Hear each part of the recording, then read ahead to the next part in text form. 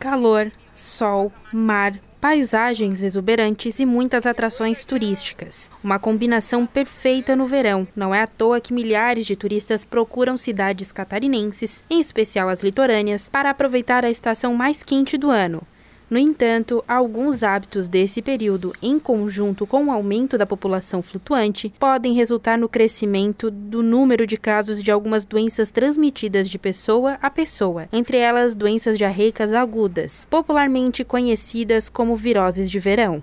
As doenças diarreicas podem ser ocasionadas por diversos agentes e alguns cuidados devem ser tomados para evitar a contaminação. Dentre eles estão a higienização das mãos, evitar frequentar lugares impróprios para banho, evitar o consumo de alimentos e bebidas sem saber a procedência, evitar o consumo de alimentos que estejam deteriorados ou com mau cheiro, mesmo estando dentro do prazo de validade, ou alimentos que estejam fora do prazo de validade e estejam aparentemente bons. Ao levar lanche nos passeios, levar de forma refrigerada, adequadamente armazenado e manter a hidratação, beber bastante água. A preocupação com a possibilidade de um aumento expressivo no número de casos de doenças diarreicas agudas nessa temporada do verão, assim como foi na temporada anterior, fez com que a Secretaria de Estado da Saúde emitisse uma nota de alerta.